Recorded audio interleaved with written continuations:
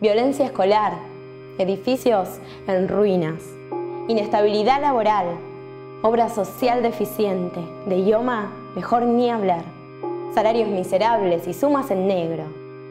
Cobramos 1.300 pesos de básico. Esta mezcla explosiva no se soporta más.